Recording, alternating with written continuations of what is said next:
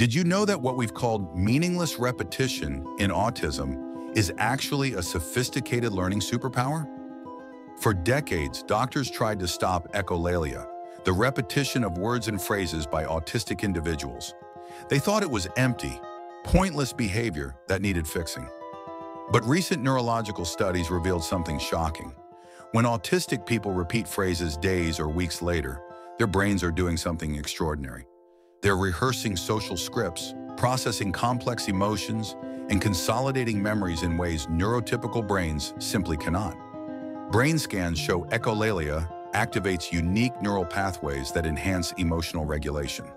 That meaningless repetition of a movie quote, it's actually advanced cognitive processing.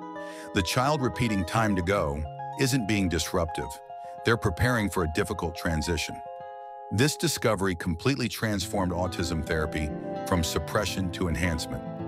Instead of stopping echolalia, therapists now work with it as a natural learning tool. What we dismissed as a deficit was actually a hidden cognitive strength all along.